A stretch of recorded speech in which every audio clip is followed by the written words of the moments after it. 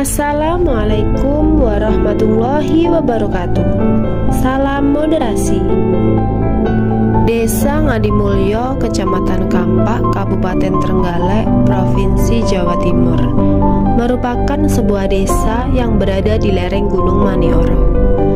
Masyarakat di desa ini semuanya memeluk agama Islam, dan karena termasuk dalam daerah Jawa, membuat agama Islam di desa ini memiliki ada Jawa atau lebih dikenal dengan istilah Islam Kejawen. Berdasarkan survei dan wawancara yang kami lakukan, masyarakat Desa Ngadimulyo, khususnya Dusun Tanjung, sangat terbuka dan menerima perbedaan. Mereka memiliki tokoh ceramah idola yang berbeda-beda. Namun, bisa tetap rukun sebagaimana mestinya.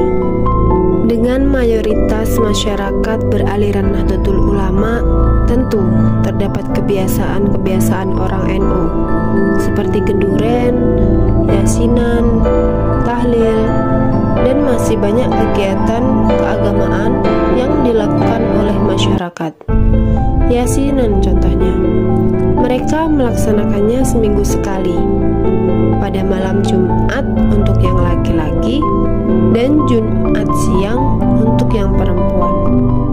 Masyarakat Desa Ngadimulyo juga sangat bersemangat dan antusias dalam hal keagamaan, terutama tentang pendidikan. Pendidikan keagamaan sudah diperkenalkan sejak dini. Terkhusus di Dusun Tanjung, ada dua pondok tempat belajar mengaji bagi anak-anak. Meski jalan pegunungan yang naik turun pinggir jurang juga rawan longsor, tak menghentikan mereka untuk menuntut ilmu agama. Tampak setiap anak-anak yang belajar mengaji menjalaninya dengan santai dan penuh kegembiraan. Desa Ngadimulyo adalah sebuah contoh desa yang penuh dengan kedamaian. Dan kedamaian ada ketika kita mau menerima perbedaan.